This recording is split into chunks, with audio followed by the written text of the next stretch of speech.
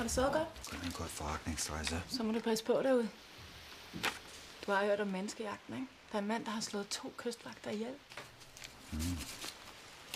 Jeg skal nok være forsigtig. Mm.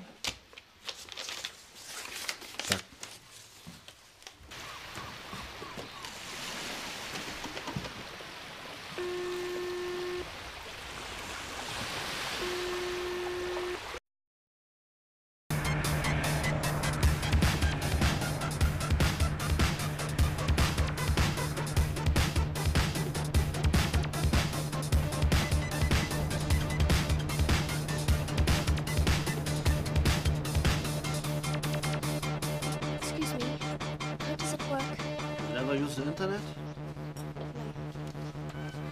You type whatever you want here, and the internet give it to you.